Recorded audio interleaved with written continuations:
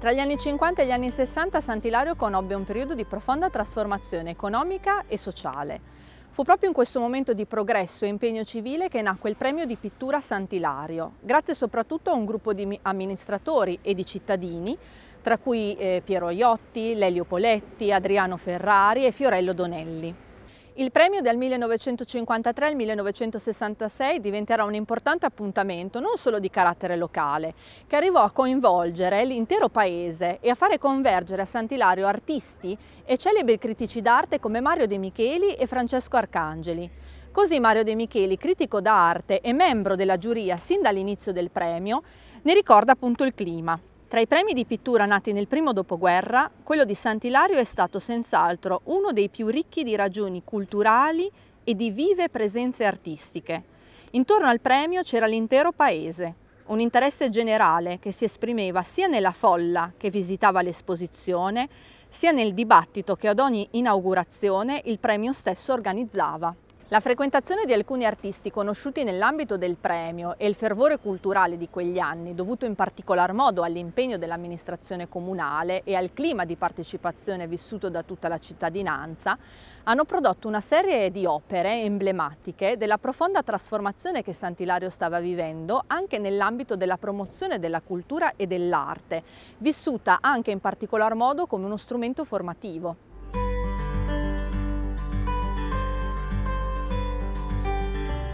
L'edificio della nuova scuola media rappresenta l'impegno del Comune verso un progresso, prima di tutto culturale, finalizzato ad un più ampio accesso al sapere per le nuove generazioni.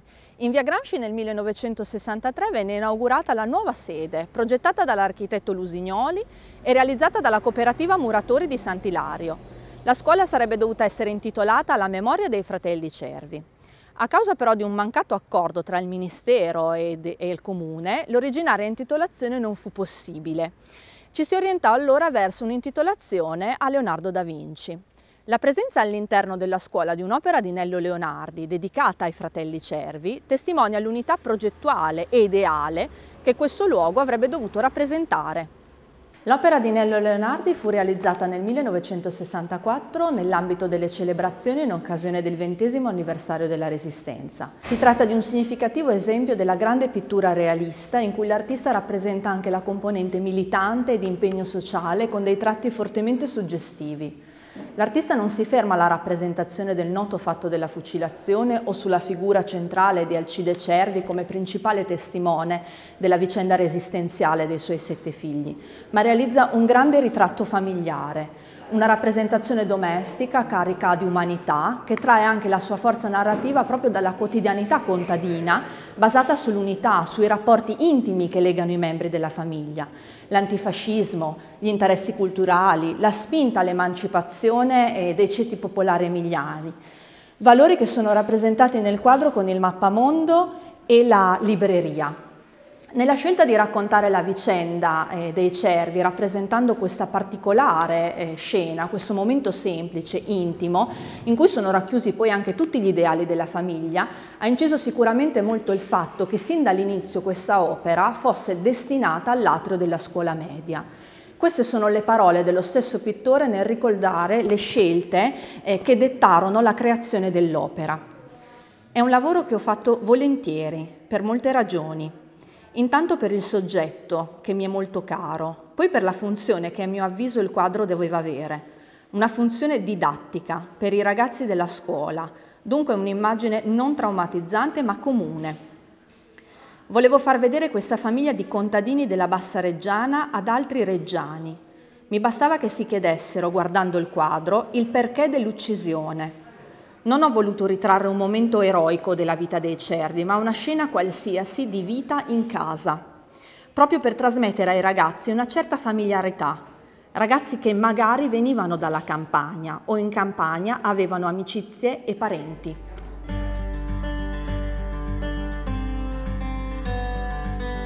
L'opera fu molto apprezzata dall'opinione pubblica, tanto da essere visitata da importanti personalità pubbliche e intellettuali, come per esempio Palmiro Togliatti, segretario del Partito Comunista, Renato Guttuso, l'artista, o il regista Pierpaolo Pasolini.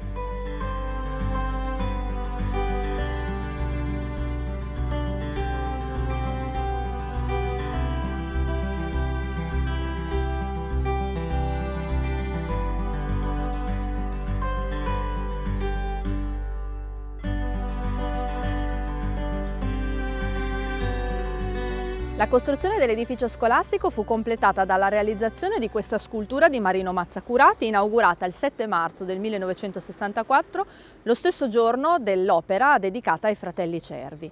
Mazzacurati è stata una figura di rilievo nell'arte italiana del Novecento, fu pittore, decoratore, intellettuale e associato il proprio nome in particolar modo alla scultura con opere realizzate in tutto il mondo. Fu un abituale frequentatore dell'Emilia e a lui si deve la scoperta in particolar modo di Antonio Ligabue.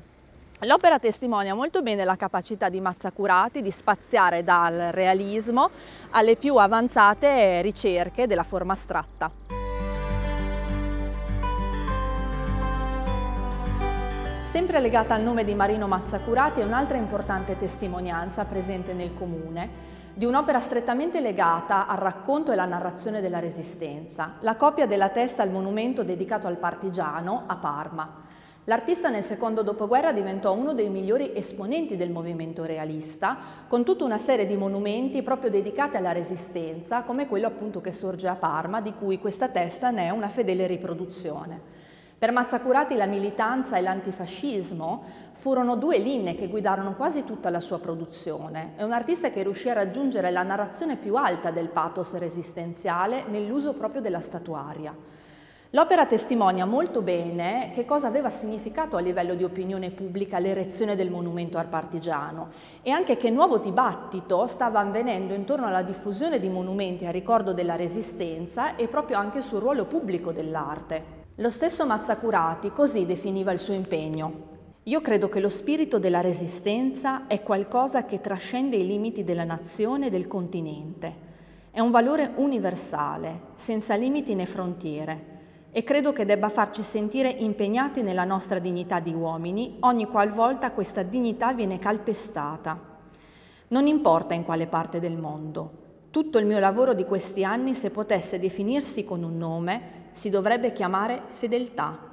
Fedeltà agli uomini, alle loro speranze e ai loro ideali.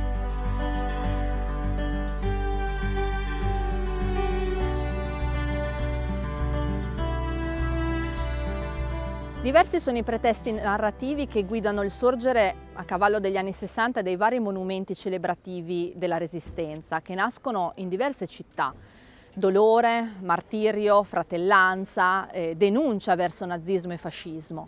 Il monumento di Sant'Ilario invece trae la propria ispirazione e celebra un valore assoluto, la libertà.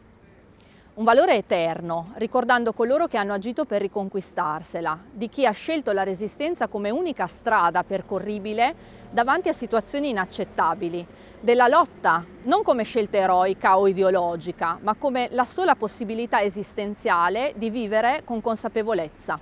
Il monumento di Sant'Ilario, inaugurato l'8 settembre del 1963, realizzato da Luigi Grosso, parla un linguaggio diretto, che sfida i modelli retorici e agiografici degli altri monumenti dedicati alla resistenza a lui coevi. È una statua agile, colta come nel momento di liberarsi dal suo piedistallo, che riesce ancora oggi a comunicare intensamente quell'esplosione di gioia nel momento della consapevolezza della conquista della libertà e di avere anche lottato per ottenerla. Questo valore quindi, la libertà, eh, che ritorna anche poi nell'iscrizione della pietra a corredo eh, dell'opera, è l'essenza stessa del monumento e viene anche spinto al di fuori del significato storico della liberazione e diventa quindi un valore universale da difendere come un diritto primario dell'essere umano. L'arte quindi come veicolo valoriale, come strumento capace di creare uno scambio creativo e propositivo, ha trovato qui a Sant'Ilario un equilibrio nell'ambiente in cui si svolge e ha saputo rappresentare e rappresenta ancora oggi la consapevolezza dell'eredità di un impegno civile, l'arte che diventa testimonianza al servizio della collettività.